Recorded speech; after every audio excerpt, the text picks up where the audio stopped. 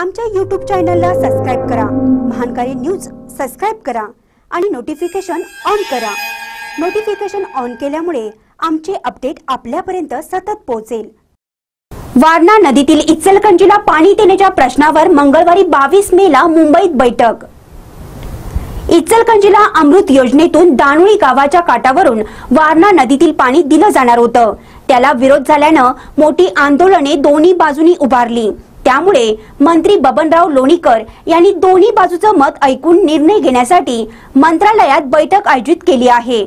या बैठकीची मागणी आमदार सुरेश हळवणकर यांनी केली होती. खासदार राजू शेट्टी यांनी सरकारने भाग घ्यावा अशी मागणी केली होती. आता या बैठकीत काय तोडगा निघतो आता पाहावं लागेल.